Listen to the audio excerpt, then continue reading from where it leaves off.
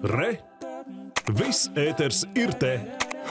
Šodien Rīgā un arī pie Rundāls pils bija iespēja redzēt ikgadējo retro auto parādi, bet rīt no rīta spēkratīs sāks ceļu no Viļņas ģedimina laukuma atpakaļ cauri Latvijai uz Tallinu.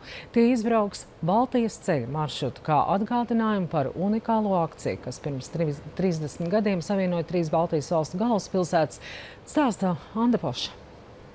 Seno auto entuziasts Jānis Odiņš pirms trim gadiem atrada lielisku žigulīti un nolēma to restaurēt kā milicijas mašīnu. Viņi nav grūti eksploatējami. Žiguls jau ir no tām mašīnām, kas, ja ir labs žiguls, ar viņu tādā kaut kādā mūsdienas straumē var iekļauties. Bet, nu, es domāju, ka šī nav tā mašīna, ar kuru, ar kuru vajadzētu braukt dien dienā.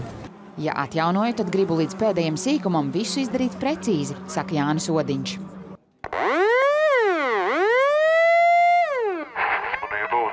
Šitā visa iekārta saucās SGU, kas ir signāļa gavarjašai uztrojstvo.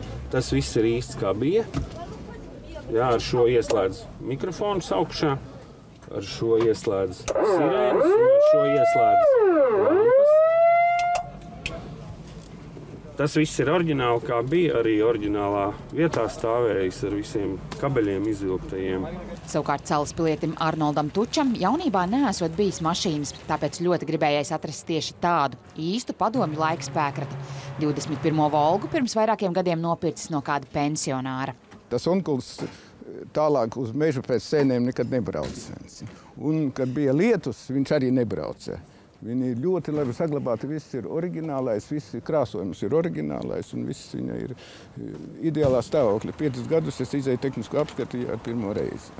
Ļoti laba, ļoti lepns, tāds bagātīgs sajūta ir braucot ar viņu. Šogad antīko automobīļu salidojums notiek Baltijas ceļa zīmē, tāpēc īpaši daudz retro auto parādē redzami tieši padomu laikos ražotie spēkrati. Volgas, Žigulīši un Moskviči stājas rindā un raisa nostalģiskus smaidus daudzās sejās. Automobīls, protams, kas nospēlēja lielu lomu, jo ar automašīnām bija jāizbrauc turienā. Un arī domājot par šo pasākumu, mēs skatījāmies tās vēsturiskās bildes, un tā doma jau arī faktiski no tā redzēs, kad stāv ļaužu kolona, kas sadošies rokās un blakām stāv spēkrati. Protams, ka 89. gadā pamatā tie bija padomju laikos ražotie un padomju savienībā būvētie spēkrati, un arī šogad uz mūsu pasākumu mēs esam aicinājuši arī padomju laika automobīļu, kas bija raksturīgi tam pasākumam.